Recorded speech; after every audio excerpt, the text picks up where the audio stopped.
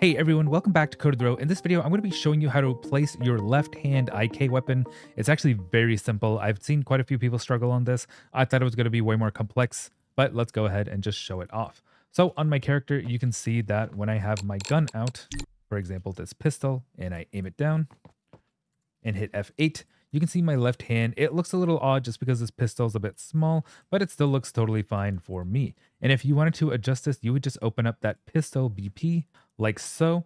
And all you have to do in order to adjust the left hand IK, and you can also do this on your swords, and you should, especially if you're using like great swords uh, from those two hand animation assets and stuff, is you just click on left hand IK, and then you can literally just move this scene component from here, and it'll tell your character where the left hand IK. So, for example, he'll just hold his hand up, he'll go outwards, and so on.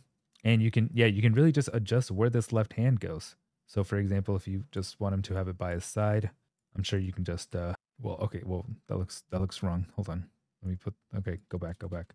And yeah, and you can adjust this per gun. So it's not always going to be this way for every single gun you create, unless of course you're duplicating this. I mean, my transformation went off the charts. And you can kind of play it in while it's running live until you see fit. And yeah, so I'll just position my hand forward a little bit down. And for now, this looks good to me. Character kind of looks like he's holding it. Maybe his hands out a little too out. And like so, hands are kind of overlapping and that's totally fine with me. And now you can see when I retargeted this Synty character to the ACF template using the Synty sci-fi pack, um, his hand is kind of clipping through that barrel. I'm just going to move this up a little bit so it looks like it's grabbing onto the gun and move it forward just so it's not right up against just so it looks totally fine. I don't want him to be his hand to go over the barrel because this looks a little more realistic. And yeah, this looks good to me.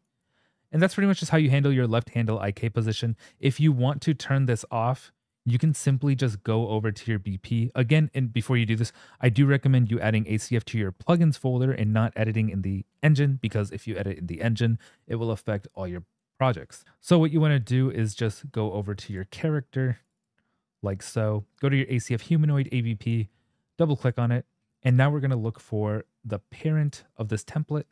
And over here, it'll look kind of confusing, but when you're in the anim graph of the ACF template ABP, near the end, right before the output pose, you'll see this ACF humanoid ABP hands IK. And if you wanted to ignore that, you can just uncheck or unpin these these two sides and just have go from the and just have this execution pin go from the feet IK to the false pose of this blend poses by Bool, just so this is untouched. But for my case, I do want the left hand IK. I personally think it looks amazing no matter what. Um, but if you're using a low poly model or something, but if you're using something that doesn't really need left hand IK, um, or has like multiple like eight hands, you don't want all your left hands to be linked on one spot and so on. But yeah, thanks for watching Code With Ro. Like, subscribe, comment below what you want to see next, and I'll see you in the next video. Thanks for watching.